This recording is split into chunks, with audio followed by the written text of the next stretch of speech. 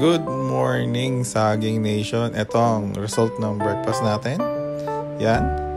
Pero, before that, intro muna.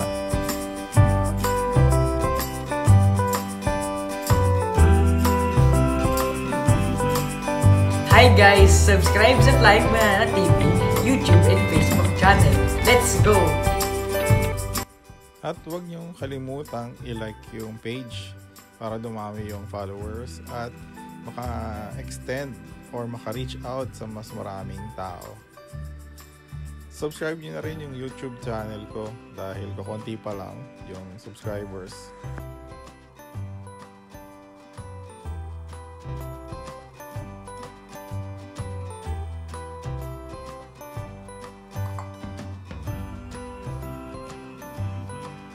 Recession can create millionaires. During a recession, people and companies get scared and stop spending as much money. This causes some inflated assets to come down, but it also causes some quality investments to become cheaper than they should be. Now, here's the thing the opportunity is different every time, and it's not always obvious. So, you gotta pay attention, keep an open mind, and be ready to take advantage of a deal when it comes by.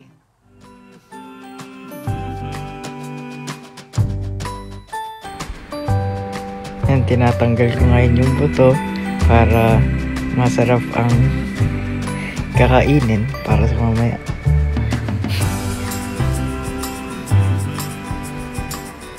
Ano pa? Yun lang yung ginagawa mo eh. Ano pa? Ayun, tapos natanggalin ng buto.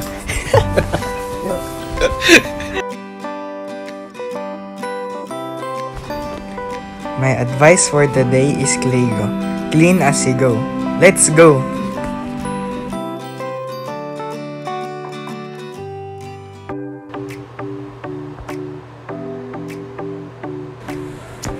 Ngayon, nilalaga natin ng okra, ang itlog, at ang mga... Itlog. Wala namang itlog dyan ah. Yan o! Wala namang itlog Di dyan. yung itlog? Ay, nako. Tingnan mo kasi. Ayon sa ano no? Ayan, ano yan? Naruto. Naruto. Ah, Naruto? Ah. Di naman yan ano eh. Ulitin mo. Di ba yan? Ah, oh, yan. Yan ngayon, kina, kinahati natin para magkasya sa blender. Blender. Siyempre kailangan hatiin para magkasya pag nilagay mo lang ng ano, ganun. Di yan magkakasya tapos may kasama pang ano, Ano? Yung skin. Skin? Ano skin? Yung Balat ng ano, yung lobas. Oh, English ah. Oy! Tapos ano mangyayari dyan? Siyempre, pagkatapos ano, ihati, eh, siyempre, may blender. Sigurado ka, may blender na. Pagkatapos, Ano ginawa? mm, Oo. di mo to. Sa school nga, nagaganyan ka eh. Kung ano mangyari? Oh, Yan, ngayon, nilalagyan natin ng gatas. gatas ba talaga yan? Gat, di ba? Gatas para ano. Kasi Ah. pag masyado, ano, mm, thick yung ano, di mo blender yan. Kaya kailangan natin nilagyan ng liquid. Para?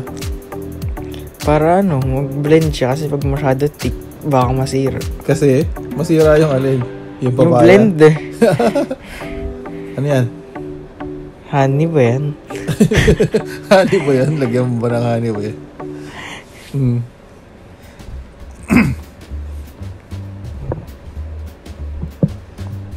Tapos, ah. ano? Bagal magsalita eh. Wala nang ginagawa.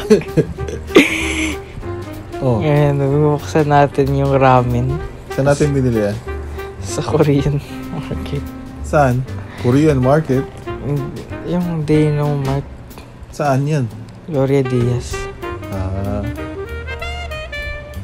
Saan ginawa? Nilagay natin yung ano, ramen sa loob ng... Nalagay na natin. Ako naglagay. Tingnan mo. Parang Paano natin eh, ako lang mag-isa dyan sa picture. Nilagay ko na. Nilagay ko na yung ramen sa loob. Yan. Tapos, naglinis-linis ng konti. Yung bahay namin, ah, since 2012. Yan yung natirang papaya, nilagay ko sa ref para hindi ma sayang. At bukas, yan ulit kakainin ko. So, sa school, ginagawa nyo yan eh. Pagkatas ikaw dito, hindi ka makapagsalita. Hmm.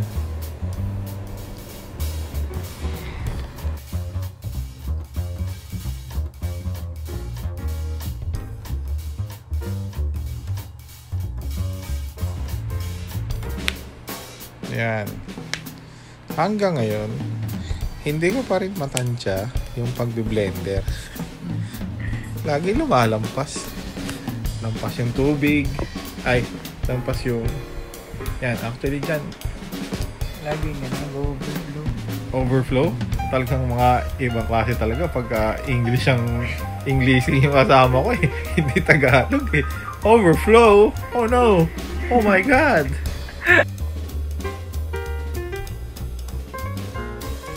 ano? Sumusobra yung lagay kasi kasi umu-overflow. Baliktad, nag-overflow dahil sumasobra yung paglagay. Siyempre pag nag-overflow, di sobra. Yun nga, kahit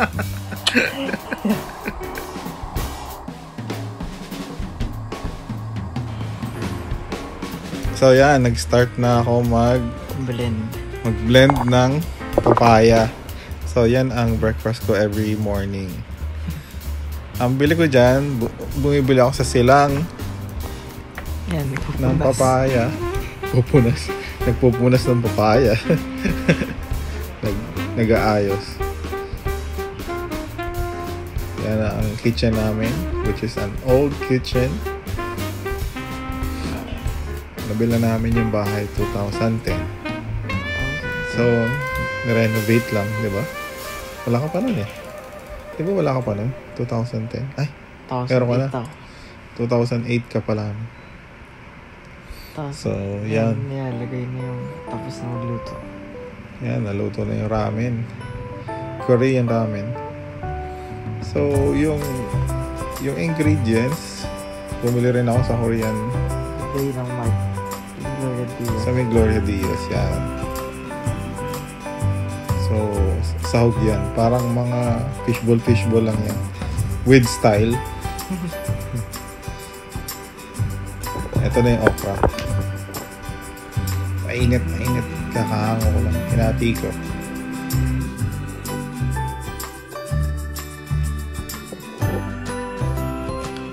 Tinanggalan ko lang ng buto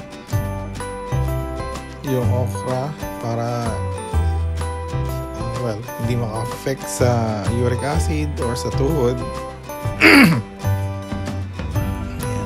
Normally, ganyan talaga ginagawa ko kasi hindi ko rin gusto yung buto eh. Nagka-appendix na ako noon. Appendicitis. So, tinanggalan ako ng appendix. So, normally, yung mga buto, like ng kamatis, yung mga ganyan, talong, tinatanggal ko na. Kaya yan yung effect. Pero wala nung pagkakaiba eh. Slimy pa rin siya.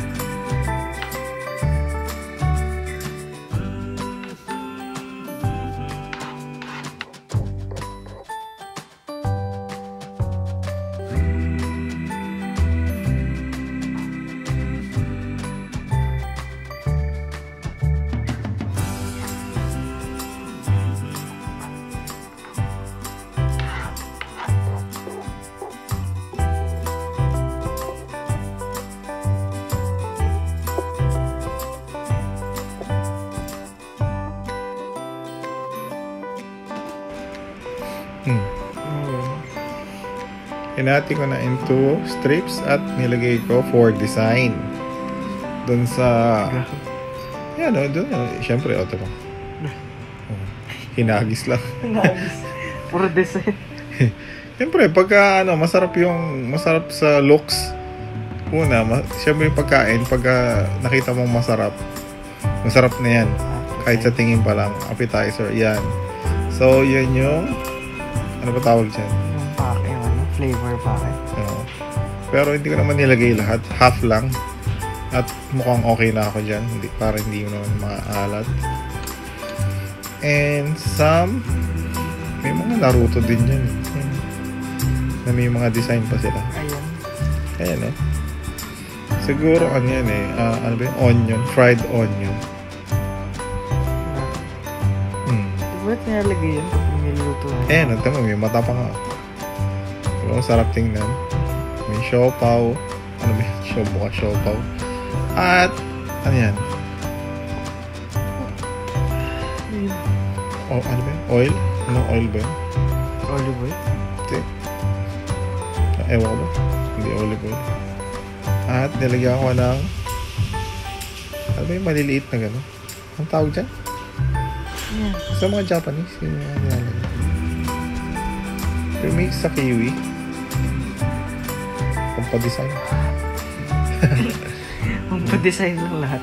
Mm, yan, ang, yan ang result ng um, aking food. Iyan, di ba? Yan, oh. Di ba sarap tingnan? At kita mo naman, yung flowers pa sa aming lutuan. Pakaunti. Ano ba yan? Hindi, yung ano, banana! Sabi, sino ba yan? Amin yan. mga minions. So, eto ang back, backdraft ko. Kumain ako dito. Yan. Yan, sa umaga. May view. So, may Japanese garden kaming style. May mga stones. At ang aking papaya mix. Huy! Aso. Gusto ko kumain. Talaga naman talaga. So, binuksan ko yung electric fan para a little bit of uh, coldness. Fresh. Ah. para ano. So, ayan na. So, yan ang working area ko. At sip of ng papaya. Milk papaya. Papaya milk. Sarap. Ayusin ko muna. Yung, yung camera. Ayan. Para makita nyo din yung view. Di ba? Sarap kumain pagka umaga. Diyan ka ba kumakain, Seth? Di ba dati dyan tayo kumakain sa labas? Yan, saan ka na kumakain? Sa table. Siyempre sa plato, no? Tapos hindi ka na sumasabay kasi kasi May class.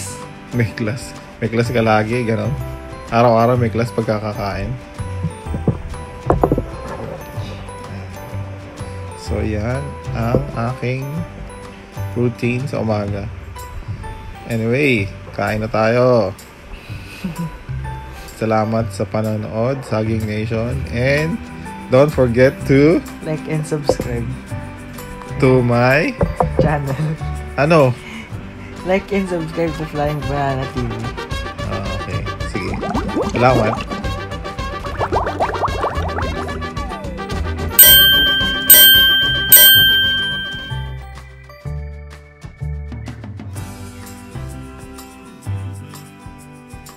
Tribute ko nga pala to sa mga lola ko sa Paranaque.